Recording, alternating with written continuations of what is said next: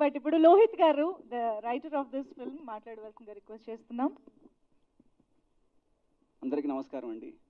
నా అదృష్టం చూడండి వెనక రాధిక మేడం ఉండగా ఈరోజు మీ ముందు మాట్లాడుతున్నానంటే దానికి ఒకే ఒక కారణం sir thank you so much sir. Thank you so much for giving this opportunity sir. ఎందరో మహానుభావులు అందరికీ వందనాలు.